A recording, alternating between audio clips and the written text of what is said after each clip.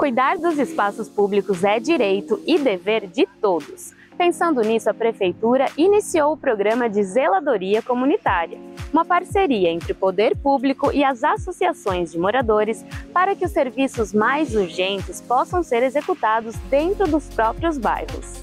Por meio do programa, as associações dos núcleos urbanos isolados, que são aquelas áreas mais afastadas do centro, recebem um repasse financeiro e ganham mais autonomia para a execução de serviços como poda de árvores, reparo de pequenos buracos, manutenção de parques, corte de mato, entre outros. Estamos aqui no bairro de Artemis, justamente com o vereador Joseph, com a líder Márcia aqui, para acompanhar o início do projeto de zeladoria, um dos programas mais importantes, que é onde a gente quer que a sociedade cuide do seu bairro, não é isso?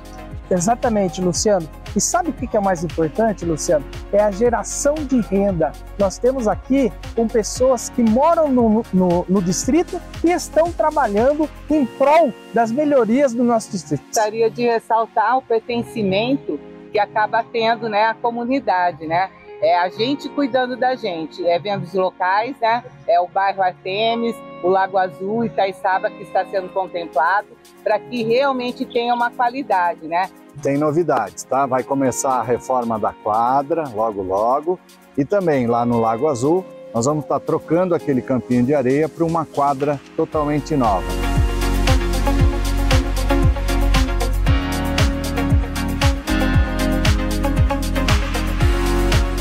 De lazer aqui da Estância Lago Azul é um dos locais mais frequentados dos moradores.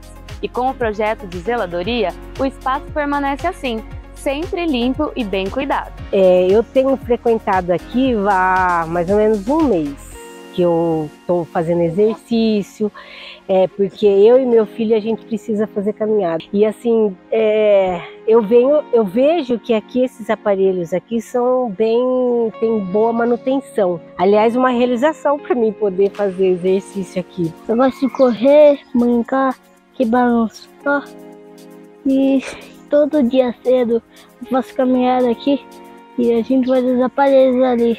Atualmente, o programa está sendo realizado nos bairros de Artemis, Santana, Santa Olímpia e Tanquinho, mas ao todo, 14 núcleos urbanos isolados podem ser beneficiados. Já começou a fazer pequenos reparos de tapa-buraco, já teve pintura de guia, e é isso mesmo, corte de mato, é isso, o projeto de zeladoria é essa a intenção, né? E, inclusive, eles estão contratando as pessoas que moram aqui no bairro, então além de estar tá trazendo benfeitoria para o bairro, eles, eles estão também gerando renda. Isso é muito importante. Lançamos a zeladoria comunitária no dia 17 de janeiro, estamos aqui praticamente há dois meses depois, vendo que está tudo dando certo.